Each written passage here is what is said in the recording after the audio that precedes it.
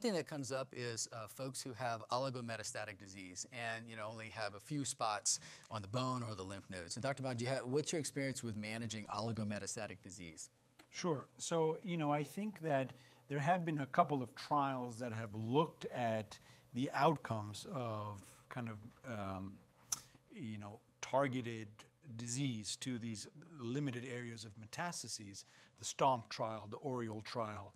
And in, in both of those trials, in men with oligometastatic, uh, hormone sensitive disease, up to three areas of metastases on conventional imaging, um, there certainly is a radiographic progression free survival and, and um, kind of PSA progression benefit um, in those men who do receive some sort of metastases directed therapy, either via radiation or surgery.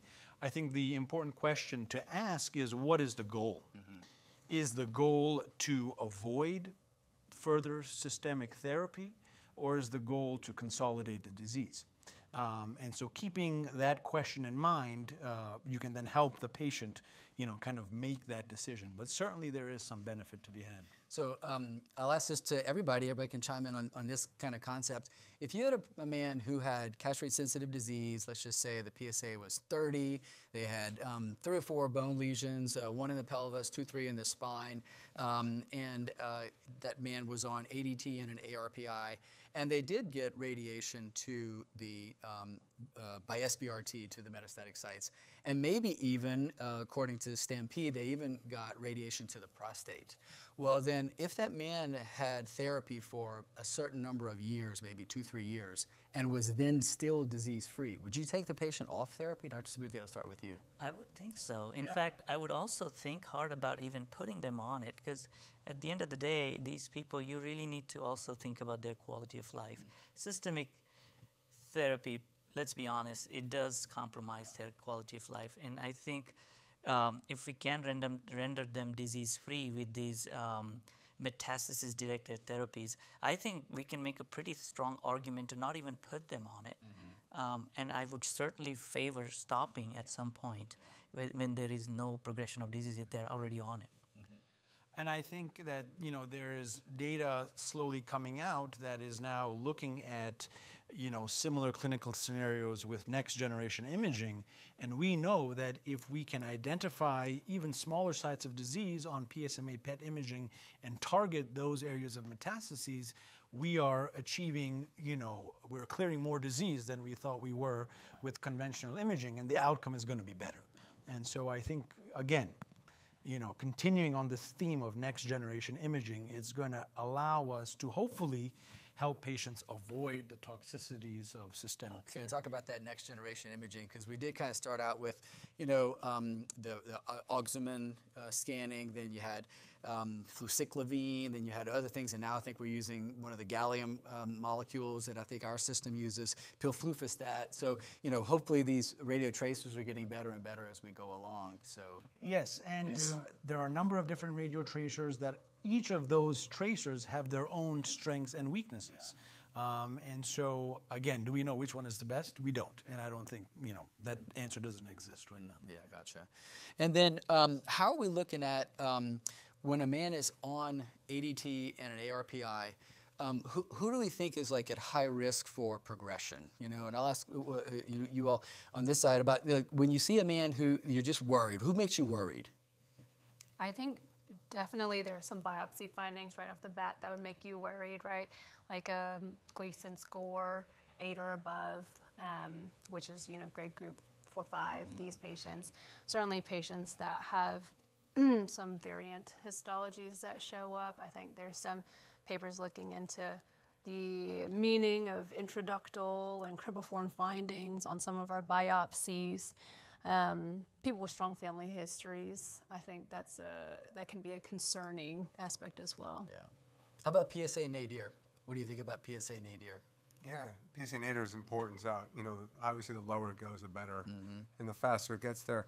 You know, it's so interesting when I'm listening to all of your answers, and you're all right, and I, I think about how nuanced this can be. Mm-hmm.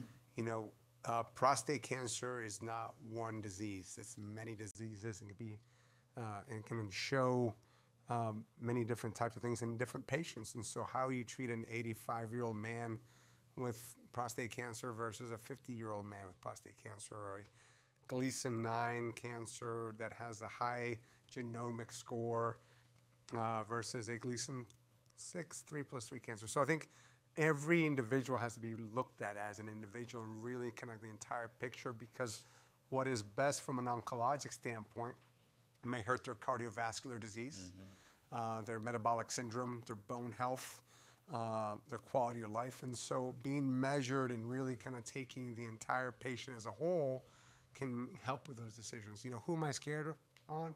You know, how uh, you know, fast PSA rises, Yeah. you know, high risk genomic scores, uh, Gleason score, volume of disease, volume of metastases, um, radiographic progression. You know, all that is not just the one thing, but it's how each individual piece of that puzzle fits and how the patient is, you know, responding to the therapy. Yeah, gotcha. Um, and then um, a, a lot of us are, you know, also uh, using triplet therapies. And so um, one of the things was, you know, the original triplet trials, as you were talking about before, only used conventional imaging. But if you had a man who maybe they did get a CT bone scan and they had minimal disease, they had almost no metastatic disease, but then on PSMA they had what you would consider criteria. Do, do you find that you make a different decision based on PSMA for triplet therapy? You know? I, you know, as a urologist, I don't, you know, you know, give Taxotere or docetaxel, but certainly when we discuss our patients that I diagnose, and you know, you certainly treat a lot of my patients, Dr. Rowe, and Dr. Satpute, from a medical oncology standpoint. My younger, healthier patients, I try to push you guys to be aggressive, and I fear that these uh, PSMA scans are just showing us what we would have seen three years later. So we're just finding disease at an earlier uh, date, and but we know what's going to happen. I mean, we know what uh, the outcome is going to be, and whenever a new drug or new paradigm or new invention comes on, it always starts with our worst, uh, you know, metastatic castrate-resistant prostate cancer patients, and then we see the improvement as that is pushed closer and closer and closer uh, to disease. So I find no, Yeah. you know, no trouble in pushing triplet therapy in my younger, healthy patients with with metastatic disease uh, found on these uh, on these uh, radiographic imaging. So I definitely push you guys to be aggressive in the younger, healthier patient. And I do too. I think that you know if you have PSMA PET scan that shows high volume disease, just because it may not be evident on you know bone scan, you know I just think the bone scan's so inferior. So I, I do also you know recommend a more aggressive course you know for the younger, fitter patients. Obviously, there's a lot of men who just can't take uh, dac- uh, taxit- uh, docetaxel, but you just gotta. And I don't find it closes any doors for Yeah. the future too. If you give those a dose of docetaxel, and you guys could comment on that better, you know, all of the options are still on the table in the future. So uh, you're not kind of boxing yourself into any particular treatment algorithm. Yeah. No, definitely. I think uh, uh, thinking in terms of triplet therapy has really, um, of course, with the ARASENS and um, Peace One trials, uh, had, had, has brought into limelight. But the PSMA scan itself, it really has um, opened that opportunity for a lot more patients. But one caveat I wanted to mention here is uh, this thing called the stage migration.